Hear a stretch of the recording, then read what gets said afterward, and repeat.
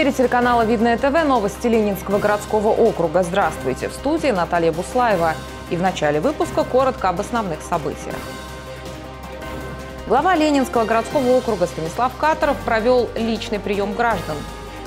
Часть работ будет профинансирована в 27-м. В 27-м эти два проекта, канализация Финансировано и исполнено это одно время? Конечно.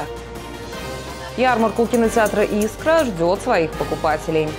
Ярмарка веселые. Все изобилие, это придает праздничное настроение. Во Дворце спорта «Видное» состоялась борьба за место в плей-офф между «Спартой НК» и «Самарой». У нас турнирная задача выполнена, мы в восьмерку, скорее всего, попадем. Глава Ленинского городского округа Станислав Катаров провел личный прием граждан. Обращения жителей в основном касались организации парковочных мест в новых жилых микрорайонах, жилищно-коммунального хозяйства и благоустройства. Жители деревни Трычева обратились к главе Ленинского городского округа Станиславу Катарову с несколькими вопросами. Один из них – проблема с электроснабжением в населенном пункте. Ранее были большие перебои напряжения. Сейчас подача электричества восстановлена, но частично. В некоторых домах ситуация остается нерешенной. Как-то локально сделано, а вот, допустим, у меня, а, как было напряжение, падает до 197, техника выходит из строя и все прочее. То есть э, в некоторых местах сделали, я не знаю, может это процесс такой идет, у них там какая-то дорожная карта у энергетиков ну, запланирована. Расскажу, расскажу. Да, да, да, да. Расскажу может быть так, если тенденция идет положительно, то это очень хорошо. В некоторых местах мы э, что делали? Э, допустим, на одну из линий нагружено огромное количество абонентов. И до конца напряжение уже доходит у нас с вами Падение. с просадкой. Да, с просадкой. Что делали в таких случаях? А, на этой линии, а, в начале этой линии абонентов оставляли, дальше, докуда нормальное напряжение, дальше отрубали линию и ввели новую, но новых подключали к этой линии только тех, кого отключили, понимаете, да, то есть распараллеливали эту историю. Также были рассмотрены темы обустройства дорог и централизованного водоотведения, отсутствующего на данной территории. Станислав Катаров вместе со своим заместителем по вопросам ЖКХ Татьяной Каляминой подробно рассказали жителям о государственной программе, в рамках которой предусмотрено строительство инженерных сетей и оборудование канализации в деревне Трычева. Часть будет сделана этих работ в 2026 году, профинансирована, часть работ будет профинансирована в 2027. В 2027 эти два проекта канализации Финансировано и исполнено это одно время? Конечно. Да. Пока не исполнено, не профинансировано. Мы деньги даем только после выполнения работ.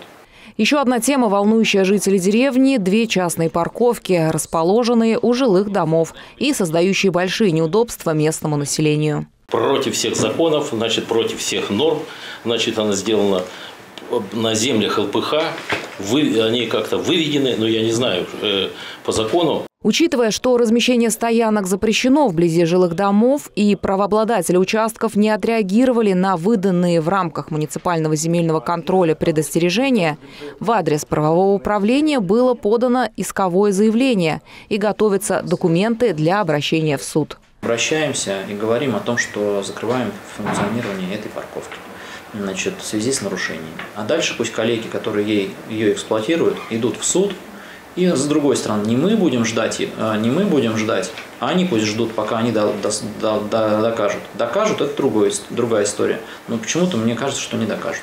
Еще к главе обратились жители улицы Завидная с предложением по расширению парковок в микрорайоне. Дополнительно посмотрим, что можно еще сделать, где нарезать какие парковочные места, чтобы сразу снять эту проблематику. А, но решая проблемы с парковочными местами, вот э, наши жители говорят о том, что здесь необходимо создавать еще и тротуары и так далее, чтобы можно было качественно здесь а, проводить а, время. Ходе приема также обсудили благоустройство придомовых территорий в городе Видное и мероприятия по очистке водных объектов в муниципалитете. Наталья Буслаева, Александр Логинов, Ольга Садовская, Видное ТВ. В Ленинском городском округе на постоянной основе проводят профилактические рейды на железнодорожных платформах с целью снижения несчастных случаев на путях. Одно из таких мероприятий провели на станции Расторгуева. Начальник отдела транспорта администрации Ленинского городского округа совместно с сотрудниками полиции и представителями казачьего общества напомнили пассажирам о правилах поведения на железной дороге. Нахождение на железнодорожной инфраструктуре требует внимания и определенных правил. То есть нельзя прыгать с платформы, переходить пути в неположенном месте. Самое распространенное нарушение, которое совершают люди на железнодорожных путях, это переход в неустановленном месте. Платформа Расторгуева оборудована наземными пешеходными переходами, благодаря которым можно безопасно перейти железную дорогу. Вот наверху у нас есть мост, например, как можно пройти. Там же есть наверху мост. А внизу нельзя прибегать, потому что тебя могут убить. Все, поезда проезжающие. Необходимо помнить, что железная дорога – это место повышенной опасности, на котором из-за невнимательности и безответственности можно поплатиться жизнью. Под оглушительный рев моторов в деревне Горки прошли соревнования по мотокроссу. Один из самых зрелищных и азартных видов спорта с каждым годом становится все популярнее. Растет число его поклонников, среди которых и наша съемочная группа. Трасса «Казачий дозор» в Горках вновь собрала любителей мотокросса. Организаторами соревнований традиционно выступили Московская областная организация технических видов спорта, Винновское казачье общество и мотоклуб «Юность». Заезды посвящены памяти тренера Владимира Золотарева. Сегодня здесь присутствуют и его э, дети, и внуки, уже даже правнуки. Э, присутствует большое количество спортсменов, которые Владимир Николаевич э, подготовил. Это чемпионы и Советского Союза и международных соревнований. Это очень важное такое, такое рода мероприятие, когда все могут э, вспомнить, э, кем был этот человек, сколько он сделал для нашей родной Видновской земли. В этот раз покорить трассу приехали почти 100 мотогонщиков не только из Подмосковья, но и разных регионов России. Многие из них ученики Владимира Николаевича Золотарева, чей пример вдохновил на занятия этим видом спорта. А среди зрителей также воспитанники легендарного тренера, чемпионы СССР и России. Он был моим вторым отцом в плане того, что он воспитывал добрый, веселый, никогда, скажем так, э, не повышал голос, подсказывал много, рассказывал. То есть, ну, благодаря ему, скажем так, мы вот лидировали в СССР.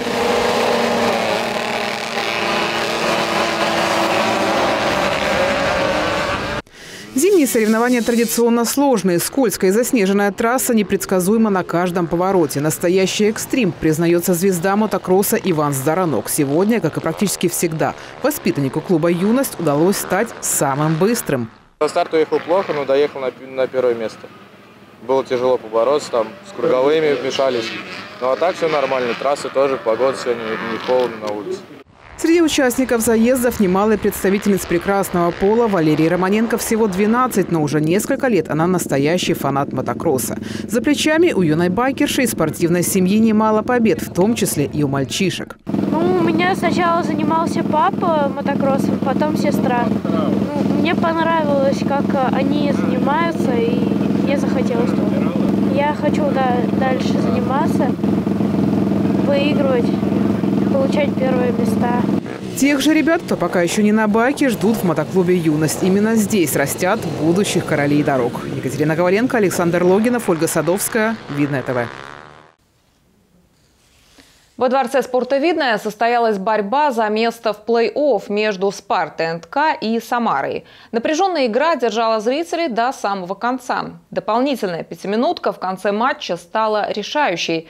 За разгорающимися баталиями следила Инга Инчук. На площадке встретились соседи по турнирной таблице. На этот раз соперником «Спарты НК» стала команда из Самары. Видновчанки уже выполнили спортивные задачи на сезон, но очередная победа будет не лишней. У нас турнирная задача выполнена, мы в восьмерку, скорее всего, попадем. А дальше нужно готовиться уже через эти игры, развивать игроков, готовиться к играм плей-офф. К концу первой половины матча команде из Самары удалось выйти вперед со счетом 41-28. В большом перерыве видновчанки обсуждали с тренером дальнейшую тактику, а трибуны поддерживали хозяек площадки. За кого болеете? Завидная. За Спарту НК. За Спарту НК. Чего бы вы могли пожелать э, команде в сегодняшнем матче? Ну, да, собраться получше и выиграть. Нужна победа. Э, тем более, всем Самара такой сложный соперник, она хороший бой дала. Да, не может быть э, выше чемпионате, но это ничего не значит. Сезон продолжается. Конечно же, удачи, большой победы. Эм, я думаю, мы выиграем. Во второй половине матча Спарте НК удалось вырваться вперед на 12 очков, но Самара в конце третьей четверти сравняла показатели, добившись счета 46-46. По итогам основного времени команды вышли на боевую ничью, но в овертайме самарчанки смогли вырвать победу. Матч окончился со счетом 72-77 в пользу команды с берегов Волги. Инга Инчук, Кирилл Иванов, Ольга Садовская, Видное ТВ. Центре города Видное, рядом с кинотеатром «Искра», продолжает работать ярмарка товаров из регионов России. Она уже знакома многим жителям города разнообразием своей продукции. Все подробности в сюжете нашего корреспондента Юлии Стаферовой. Ярмарка около кинотеатра «Искра» радует и удивляет местных жителей не только качественными товарами, но и доброжелательными продавцами, которые всегда помогут сделать правильный выбор. Эта ярмарка славится уникальными фермерскими продуктами, вкус которых смогут оценить по достоинству даже гурманы. У нас смоленские колбасы фермерские. Настоящее домашнее деревенское сало. Не, не то, что продается в магазинах, а именно настоящее деревенское. Шкурка мягкая на каждом куске. И мы приводим еще, ребят, посмотрите, деревенскую вот такую вот домашнюю запеченную свиную грудиночку. Мы ее запекаем в коньячной заливке, в медовой основе неимоверно вкусный продукт. У продавщицы Эли Рустамовой на прилавке лежат крупные и зрелые плоды граната из разных стран. Они идеально подойдут для салатов, горячих блюд и десертов. Рубиновые, хрустящие и сочные зерна могут служить для украшения еды при сервировке блюда. А свежевыжатый сок станет прекрасным дополнением гастрономическим шедеврам. Гранатами и гранатовым соком свежевыжатый. Выжимаем сами. И гранаты привезли, сирийские гранаты есть, узбекские гранаты есть, азербайджанские гранаты есть. Сейчас в основном торгуем узбекскими гранатами. Для того, чтобы покупатели могли получить удовольствие от посещения ярмарки и зарядиться положительными эмоциями, для них выступает музыкальный коллектив.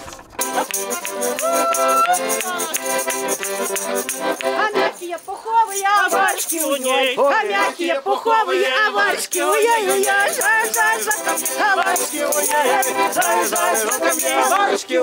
Сегодня очень весело на ярмарке.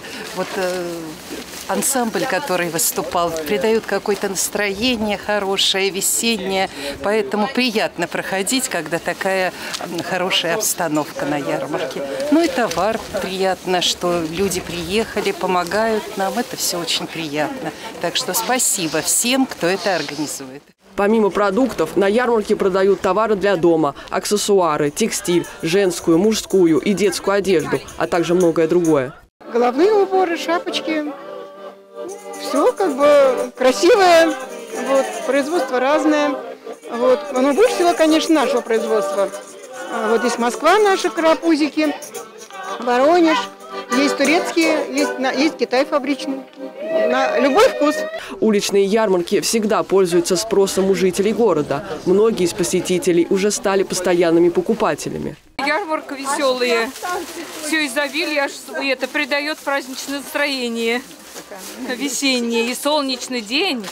И это, как говорится, очень хорошо и приятно пройтись по такой ярмарке. Ярмарка товаров из регионов России около кинотеатра «Искра» будет и дальше радовать своих покупателей богатым ассортиментом продукции. Юлия Стаферова, Александр Логинов, Ольга Садовская. Видное ТВ. И это вся информация на сегодня. В студии была Наталья Буслаева. Я и мои коллеги желаем вам только хороших новостей. Всего доброго и до свидания.